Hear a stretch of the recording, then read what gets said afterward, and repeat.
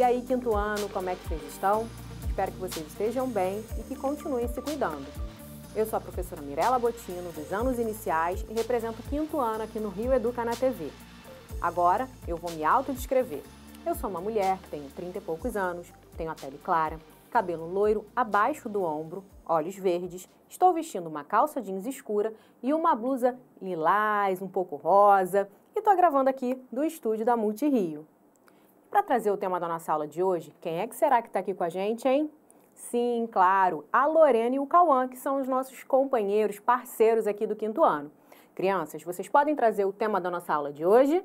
Isso aí. Hoje nós vamos falar sobre diferentes formas de informar. Eu vou contar uma coisa que aconteceu comigo quando eu estava vindo da minha casa aqui para o Multirio. Eu percebi que tinham muitas bicicletas pela rua.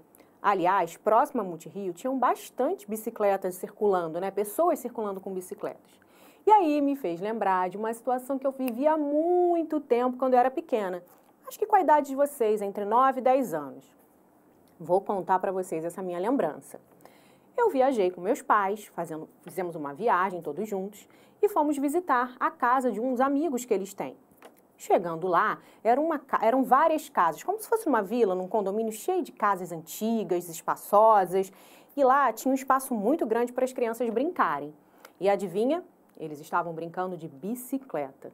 E eu fiquei com muita vontade de brincar também, só que eu não tinha uma bike ali, né, pessoal? Mas não teve problema não, a gente deu um jeito e eu acabei conseguindo uma emprestada. E aí foi só diversão. Comecei a fazer amigos, andando de bicicleta. E o que, que aconteceu? Adivinhem só? Eu caí com a bicicleta.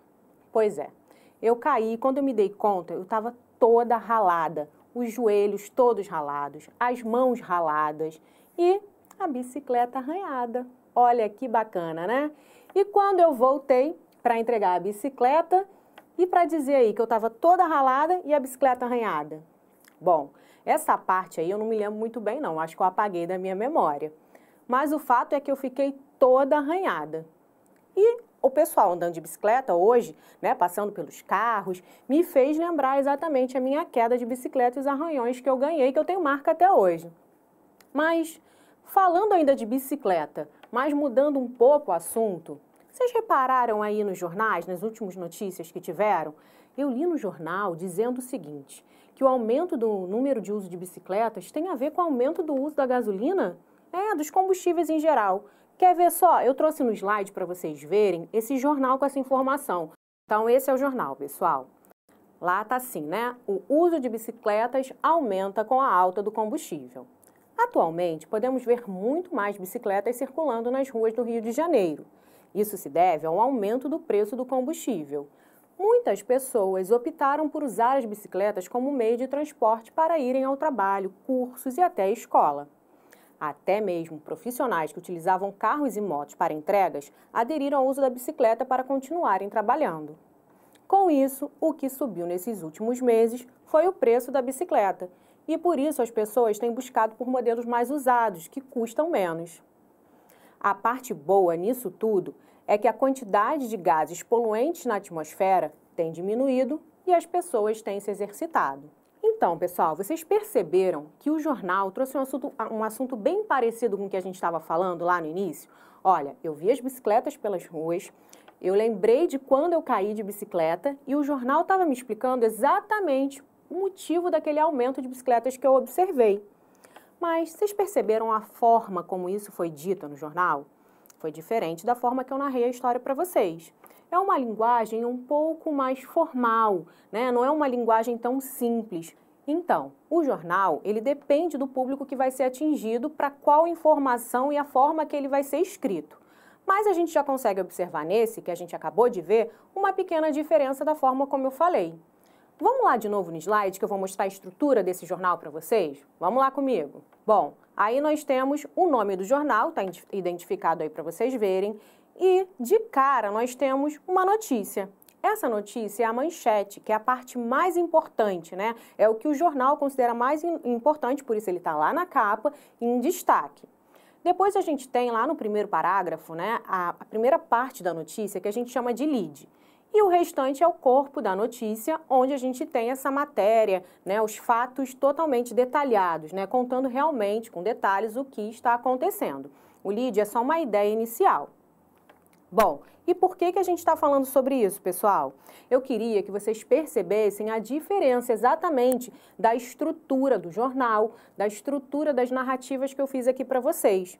E o principal, a gente estava falando sobre o mesmo tema.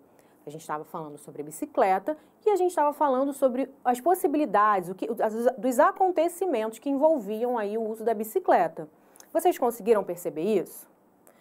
Mas, professora, por que, que a gente está falando sobre isso? Isso é importante?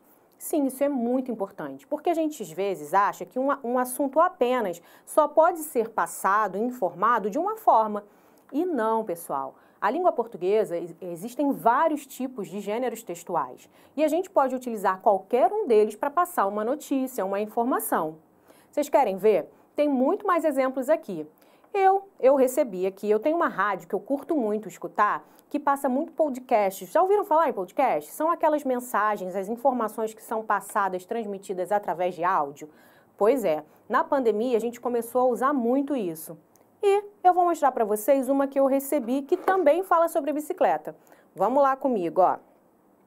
Vou colocar ela aqui. Pronto.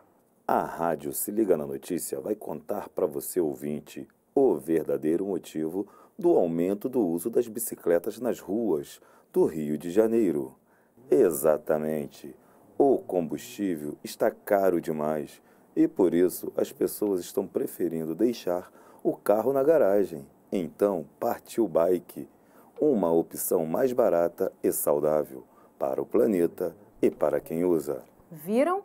A mensagem que foi transmitida foi de uma forma bem diferente. Foi uma linguagem mais informal, não foi assim daquele jeito, uma linguagem mais formal, não. Foi informal. Essa linguagem mais simples, mais suave, a gente pode chamar de linguagem coloquial. Perceberam a diferença? E o assunto? era o mesmo, falando sobre o uso da bicicleta, sobre o aumento do combustível, sobre o planeta estar tá, tá sendo beneficiado por essa situação. Não foi isso que a gente ouviu? Ah, mas vocês ainda não estão acreditando que a gente pode passar uma mesma informação ou uma informação complementar ou usar o mesmo tema em gêneros textuais diferentes? Vou mostrar mais um para vocês, ó. Vamos aí no slide. Agora vocês vão se surpreender que eu vou mostrar para vocês agora no próximo slide. Vamos lá comigo. Aqui a gente tem uma outra forma de contar o mesmo assunto. O título desses dois gráficos, né? A gente tem aí, na verdade, dois gráficos: o gráfico em barra e o gráfico em pizza. A gente tem o título aí que são os meios de transportes mais usados. Então, a gente observando aí a legenda, a gente vê que a bicicleta é o meio de transporte mais usado. Depois tem a, o carro e a moto. Vocês conseguem observar isso? Então, o que, que o gráfico está trazendo? A informação que a gente já sabe desde lá do início, que eu observei, que a gente leu no jornal, né, é, que a gente ouviu lá no podcast, que as bicicletas estão sendo mais utilizadas do que os carros e as motos. O que, que é o gráfico, pessoal? Só para a gente relembrar, que eu não sei se vocês se lembram bem. O gráfico é um recurso utilizado que mistura a linguagem verbal com a não verbal. Verbal porque a gente tem aí algumas palavras, certo? E não verbal por quê? Porque é aquela linguagem que não precisa utilizar a fala. É uma mistura, né? A linguagem não verbal utiliza os gestos, as expressões, utiliza também símbolos, placas e o gráfico entra nessa aí também. E aí, acreditou em mim agora que a gente pode falar das mesmas coisas de diversas possibilidades? Ainda não? Então, vou te mostrar mais uma opção aí para vocês. Ó, no próximo slide, a gente tem um trecho de uma música. Essa música tocou muito um tempo atrás. Eu não sei se vocês vão lembrar dela, mas quando eu contei a história para vocês, eu lembrei na hora dessa música. Ó, eu vou ler a letra para vocês. É que a gente quer crescer e quando cresce quer voltar do início, porque um joelho ralado dói bem menos que um coração partido. É que a gente quer crescer e quando cresce quer voltar do início, porque um joelho ralado dói bem menos do que um coração partido. A música se chama Era uma vez de Kel Smith. Olha lá, pessoal, tá falando aí de uma queda de, de um joelho ralado que eu contei para vocês lá no início que eu caí de bicicleta e ralei o joelho. Aí tem uma outra linguagem, né? Uma linguagem poética, porque é uma música. E a mensagem, a informação, ela também pode ser transmitida através de uma música. E nesse caso é um pouco diferente, porque, como eu falei para vocês, é uma linguagem poética. Existe melodia, rima, são versos, né? Não são linhas, é, são estrofes e não parágrafos, mas aí também traz uma informação. No caso, uma informação que eu falei para vocês lá no início da aula da minha queda da bicicleta, do meu joelho ralado. Bom, tem mais um exemplo aí para vocês. Agora eu vou mostrar para vocês uma carta, o gênero textual carta. Vocês vão ver lá quais são a, a estrutura né, desse gênero e a gente vai ver sobre o que essa carta traz para gente.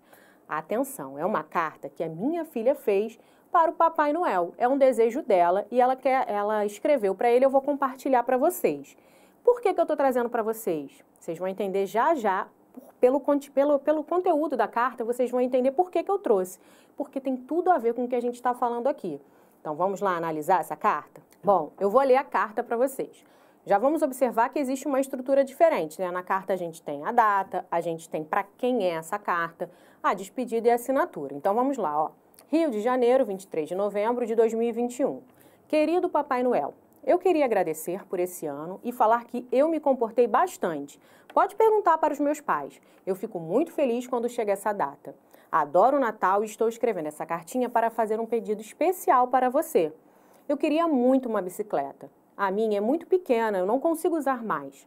Eu gostaria de ganhar uma, nem precisa ser novinha, mas é que queria passear com ela, brincar com meus amigos e assim ajudar o planeta a se manter mais saudável e também me exercitar com ela. Muito obrigada, Maria Eduarda. Vocês perceberam como que ela foi esperta? Foi logo dizendo para Papai Noel que ela se comportou e podia perguntar para os pais, não é mesmo? Mas, sem brincadeiras, vamos lá direto o que a gente tem que dizer. Qual é o assunto desse texto? A bicicleta novamente. E ela fala aí que ela quer uma bicicleta e ela diz que não precisa ser nova. Por quê? Porque ela sabe que a bicicleta está cara, né? A gente conversa sobre isso em casa, a gente vê o noticiário. Então ela diz que ela pode ser, não pode ser usada. E para que ela quer a bicicleta? Para brincar com os amigos, se exercitar e ajudar o planeta também a se tornar mais saudável. Perceberam aí que tudo que a gente falou, ou da forma falada, ou da forma escrita, tudo está aí no mesmo texto, o mesmo contexto, trazendo a mesma informação? Pois é, quinto ano. Essa foi a nossa aula de hoje, trazer diferentes informações de diferentes formas. Mas antes de ir embora, eu tenho que deixar um desafio do quinto para vocês, né? não posso ir sem lançar esse desafio. No próximo slide está explicando exatamente o que é para vocês fazerem. E o que, que eu quero? Eu vou desafiar você que está assistindo a nossa aula a fazer o que eu fiz aqui hoje. Escolha um tema e se, e se desafie. Pega esse tema aí que pode ser futebol, é, jogos online, pode ser receitas, amizade, escola, o que vocês quiserem e transformem esse assunto em duas formas de informar. E aí, ó, usa o que a gente aprendeu aqui na nossa aula e a sua criatividade. Bora? Vamos lá testar? Então é isso, quinto ano. Espero que vocês tenham curtido a nossa aula, que vocês tenham aprendido. E hoje a gente comprovou isso, né? Que a partir de um tema, de um assunto, a gente tem várias possibilidades de, de transmitir essa informação. Um grande beijo, fiquem bem, se cuidem e até o nosso próximo encontro aqui no Rio Educa na TV. Tchau, quinto ano!